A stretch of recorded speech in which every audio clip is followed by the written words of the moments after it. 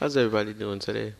Got another UFC Undisputed 3 online match, this time in a heavyweight division, which is a division I really don't play often, but I'm Don Frye, my opponent's Frank Mir, and this fight I kind of figured I should take him down as he pieces me with a big uppercut and body shot.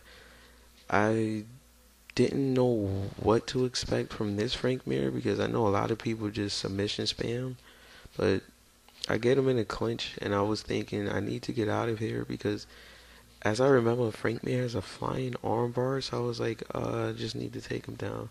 Hopefully, I can do better there. So he pulls guard better for me, and I tried to transition, but he just kept blocking it. I guess I need to change up the timing on my transitions.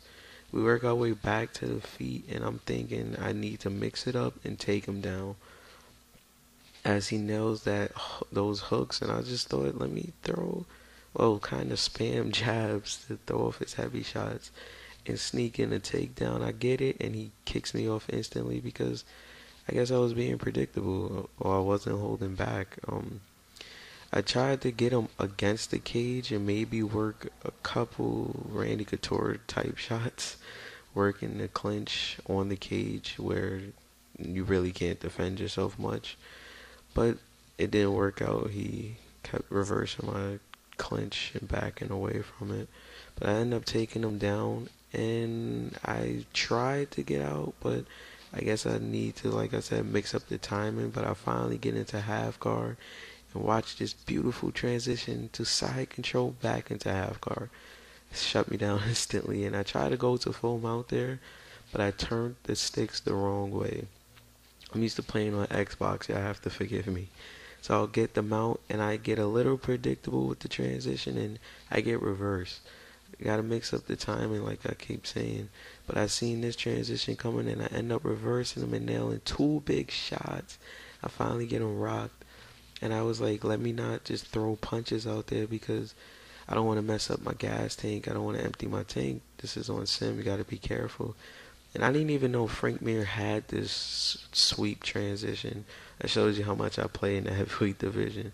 But I end up on top, so it's not that big of a deal. And nail some nasty ground and pound.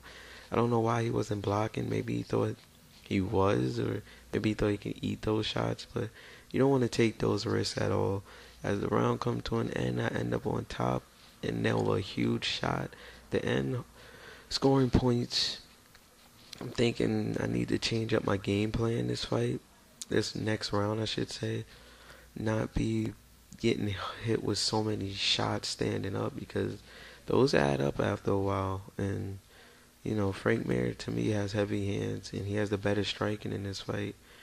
Maybe even better speed. I have to check in on that. But anyway, I just was thinking I need to mix it up from striking to takedowns and hold position and not get kicked off instantly like I did last round. But I don't know. I don't. I kind of like Don Frye, but I don't know who to use in the heavyweight division. I should say. I don't like Frank Mir or Nog that much because they're overplayed, and Cain Velasquez also. But I don't really do heavyweight fights, so I guess this is like a once in a while thing. As the next round comes to a start, we he comes running at me, so I'm like, uh oh. He barely hits a head kick, and I hit a big counter hook.